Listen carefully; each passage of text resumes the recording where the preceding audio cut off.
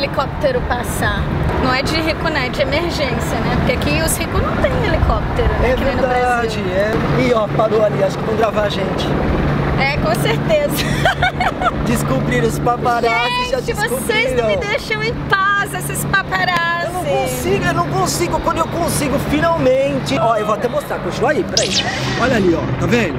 Peraí, vou dar até zoom aqui, ó, ó, ó. Aqui. Tinha que parar, é paparazzi, sabe por quê? Por causa disso, ó. Descobrem a Márcia, aí não tem jeito, é paparazzi pra tudo. Eu não, eu não aguento, eu não aguento. Ainda mais com essa companhia, né? Aí é paparazzi duplo, já vem até de helicóptero pra não perder a chance.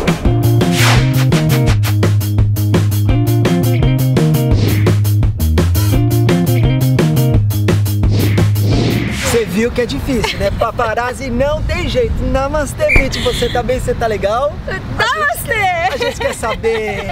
Não é cheirosa, hein? Ai, obrigado, você também. Cheira. Entrou no meu carro, mudou o cheiro, tirou todo o meu cheiro do carro. Vou Ele. falar a verdade, entrei todo cagado. Que assim, ó, eu não posso dirigir aqui na Austrália. Aí a Márcia falou assim: tá bom, eu vou te pegar em tal lugar. Ok. Tô lá esperando a Márcia, para um caminhão de lixo bem na minha frente. Eu todo cheiroso, sabe? Chanel. Aí eu falei: não, isso não vai prestar, esse cheiro de lixo aqui comeu, né? Não é que impregnou? Aí eu falava: nossa, o negócio aqui tá Mentira. pegando, né? Tava cheiroso pra caramba. É, uh! Caminhão de coleta de lixo para deixar a cidade limpa. Mas o problema, pra mim, tava todo cheiroso, agora tô todo cagado, né? Eu estou com Márcia Percival. Eu adoro quando você fala isso nos seus vídeos, quando você tá conversando com gente em inglês. My name is Márcia É, Per- Percival. Percival. Minha irmã, quando eu fiquei noiva do Andrew, ela falou assim: Nossa, qual vai ser o seu sobrenome? Eu falei: Percival. Ela, meu, mas que nome mais brasileiro? Como Não assim? Você não consegue falar depois Aí eu falei: Calma, não é Percival, é Percival. Ela falou: ah, Agora melhorou muito. Não, mas é, é muito chique. A hora eu falei, nossa, quê?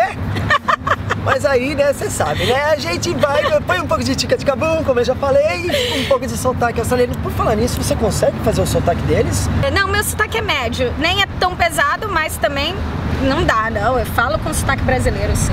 E tranquilo, pra você, o povo te entende? Total, total. Já- você sabe que às vezes acontece comigo de uma pessoa outra fala assim, ah, mas não entendi. Eu falo, se você não entender, é problema teu, porque eu tô falando inglês.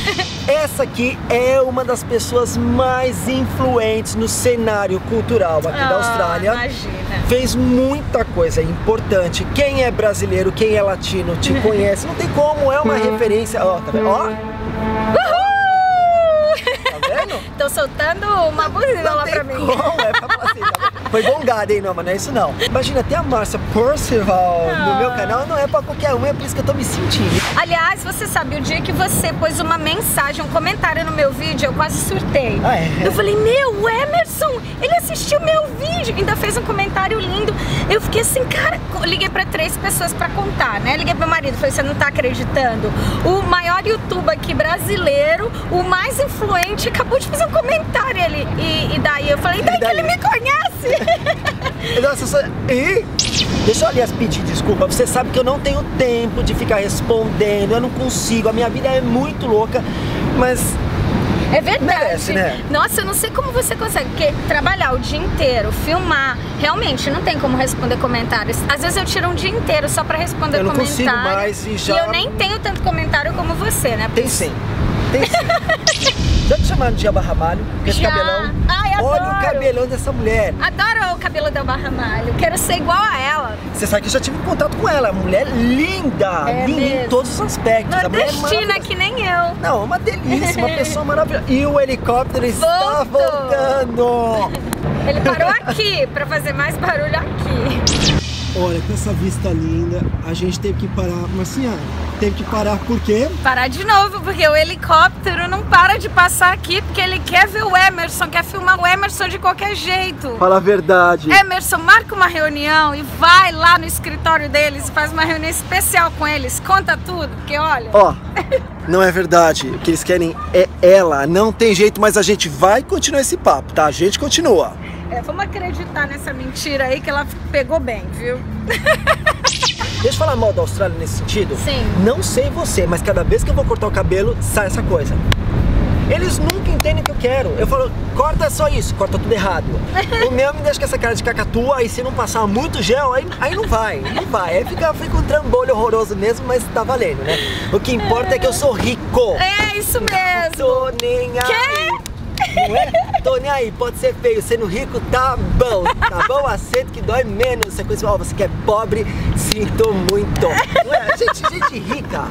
Entende isso? Olha onde a gente tá. Você quer, você quer o quê? Isso aqui, isso aqui não é coisa de gente pobre. Fala isso não, fala Mas isso não. Vamos falar sério. Vamos falar você sabe sério, que o isso é povo, o povo zoa falando que eu sou rico porque eu moro na Austrália. Não, mas tem muito disso, né? O pessoal que mora no Brasil sempre acha que o fato de você morar no exterior você é rico.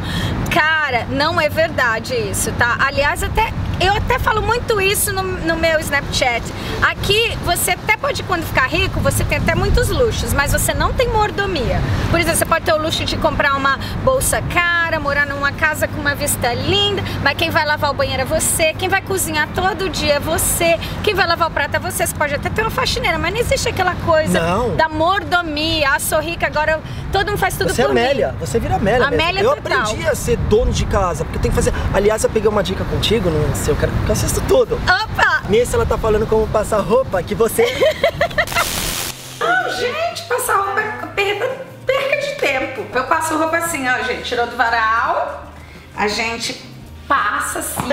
é o uniforme das crianças. Passa assim, passou, olha, bem É. passadinho. É isso aí. Ó, melhor ferro do mundo, ó. Aí, mas você sabia que eu olhei e falei, gente, mas isso é típico de quem mora na Austrália.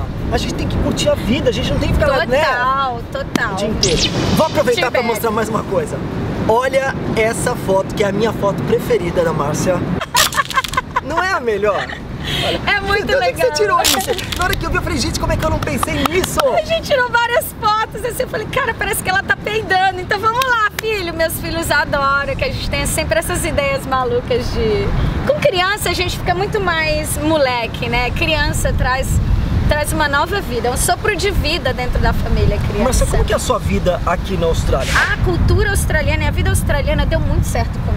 Ah, é? Muito, muito. E aí, o que eu digo ser muito australiana brasileirada é que assim, eu cozinho todo dia. Então, minha casa sente aquele cheiro da comida brasileira todo delícia. dia. É, eu sou- não sou tão séria, né? Aliás, eu sou nada séria. A gente brinca muito na minha casa. Eu tenho como lema deixar muito alegre minha casa, porque eu acredito que a mãe é que é o coração da família. É, matriarca, né? Quando Que- você tá feliz, tá todo mundo feliz. Quando você tá irritado, tá todo mundo irritado. Então eu escolho tá feliz. Às vezes eu tô irritada, meus filhos não tem nada a ver com que eu tô irritada, então deixa de lado, porque você tá com os filhos agora, então você tem que estar feliz com eles. Então eu tenho um lar assim bem harmonioso, mas porque eu faço escolhas. E uma das minhas escolhas foi realmente levar uma vida numa rotina bem australiana e guardar a minha brasilinidade. Existe essa palavra? Acho que sim, né?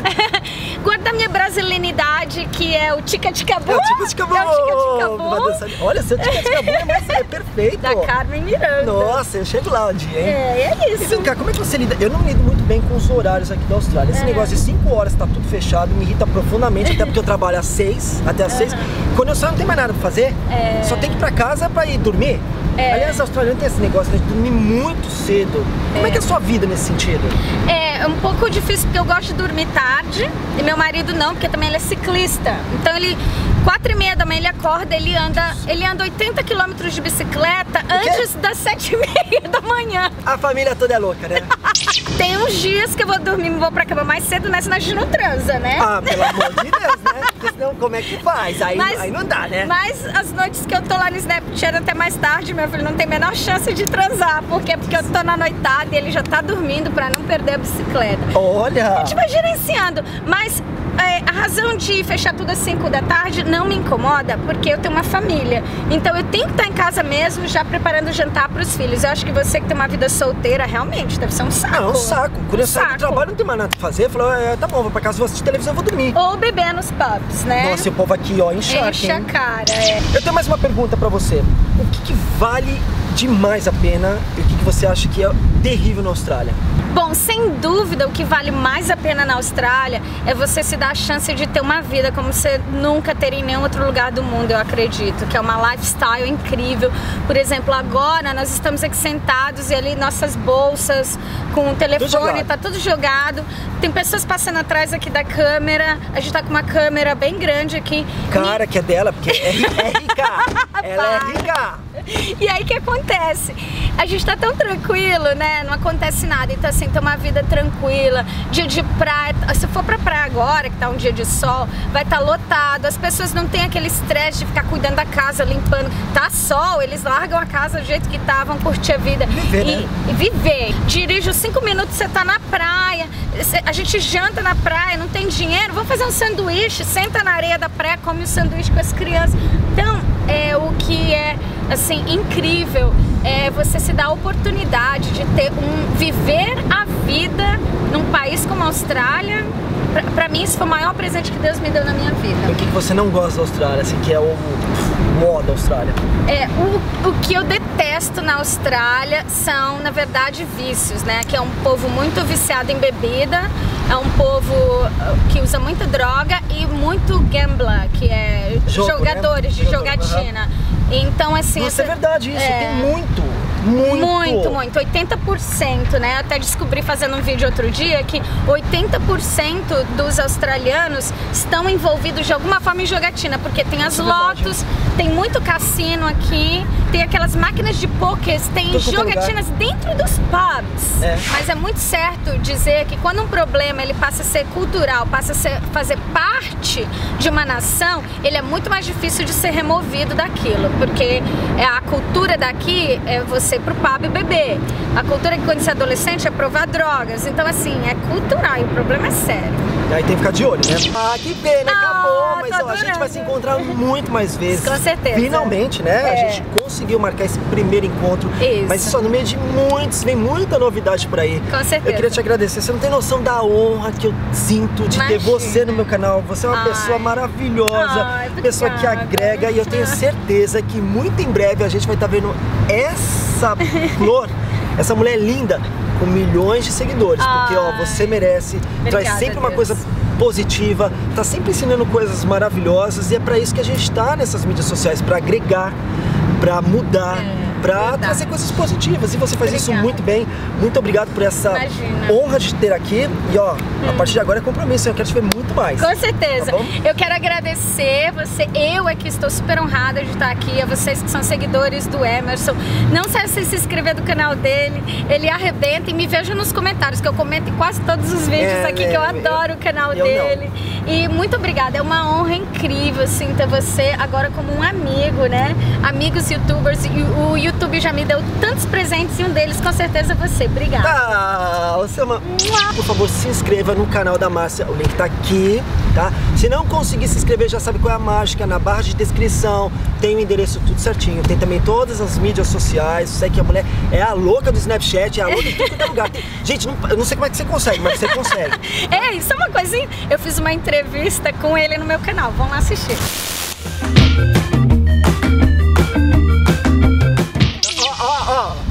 Abafa. Mas é, é, só, é só pra lembrar pra, pra, você me ver lá também. Ó, o paparazzi tá voltando. Chegou, então é hora de ir embora, embora é hora de ir embora. Eu ah. espero que você tenha gostado. Muito obrigado pela sua audiência e a gente se vê no próximo vídeo. Um Namastê, bitch. Tchau. Namastê, bitch.